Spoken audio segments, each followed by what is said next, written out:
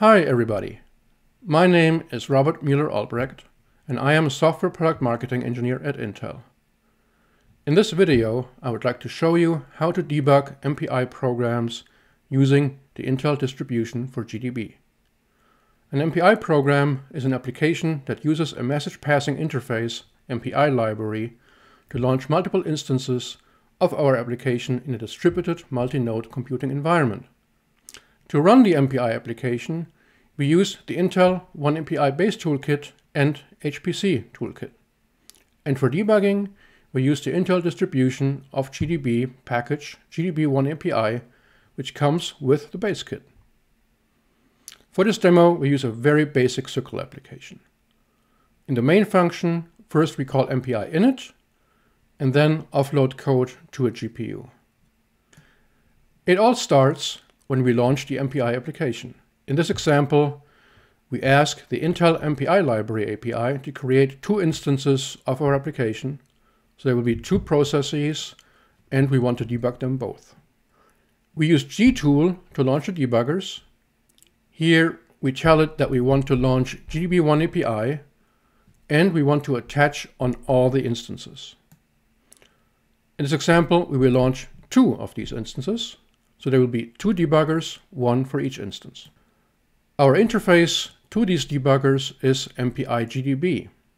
And as soon as we tell MPI to start our application, we start seeing traces from. These traces tell and track how debuggers are launched and attached to their processes. Then we see the MPI GDB prompt. Now the debuggers are attached and are waiting for our commands. We were stopped in MPI init. So we use backtrace to see that the main function is at frame 13. We want to do debugging in there, so we change to that frame. Note the numbers before the MPI GDB prompt.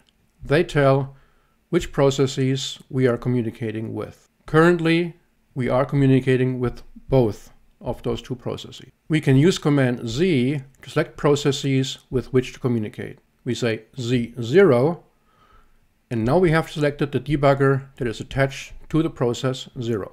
The code that we will offload is in lines 41 to 44 of our code, so let's set a breakpoint at line 42. This breakpoint is only for the process 0. Then we switch over to the other process, and there we set a breakpoint at line 43. So now both processes have a breakpoint in code that will offload, but on different lines. Then we activate both processes and say continue. Our application runs, offloads to the GPU, and both processes will hit their respective breakpoints. And as we expected, they hit different lines.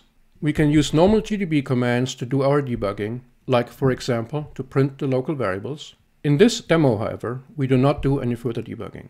Instead, we just remove the breakpoints on both processes and let them run until exit. And once we're done, we can then quit the debuggers. You can find more information about debugging MPI programs at this collection of GDB tutorials. There we have links to documents describing all the command line arguments and environment variables needed to launch debug sessions. The page describes the use of gtool, but also other methods to debug MPI programs. And it goes through how to set up a debug session in multi-host environments.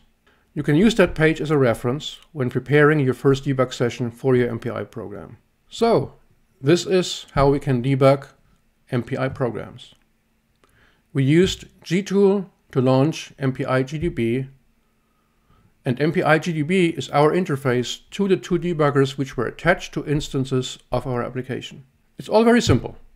You only need the Intel OneAPI Base Toolkit and the HPC Toolkit. Thank you for watching this video. Looking forward to talking with you again next time. Goodbye.